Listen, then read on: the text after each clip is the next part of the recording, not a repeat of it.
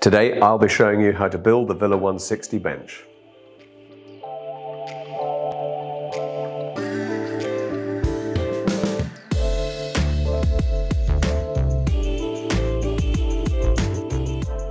With your Villa 160 bench, you'll receive the seat, the arms and legs, and a bag of fixings.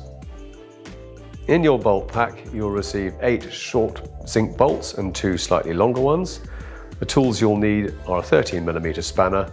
A rubber mallet is useful but not necessary. Flip the Villa 160 on its end. This makes for quite a high work area.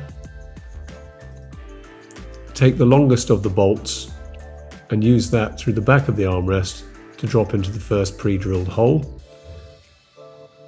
You then line up and drop in the remaining four bolts.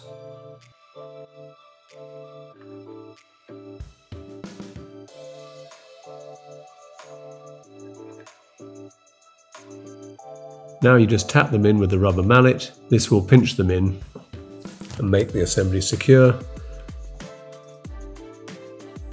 Now try to fix the washers and nuts at the same time and do them up finger tight.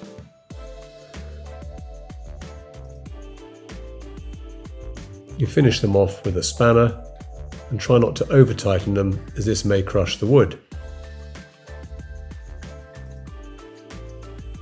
Now repeat the process for the other side. Pepe Garden furniture is pressure treated. This process can leave batten marks as you see here, but they weather in over time. We recommend that you use the furniture protector provided with every kit in half litre, one litre or two and a half litre tins, depending on the size of the item. This should be applied every two to three years, depending on exposure, evenly to the outside. Concentrate a little bit more on the end grains and the end of the legs for this darker finish.